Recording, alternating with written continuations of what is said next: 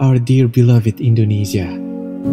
It's time to stop and take a break, to distance ourselves for a while and hope for a better future.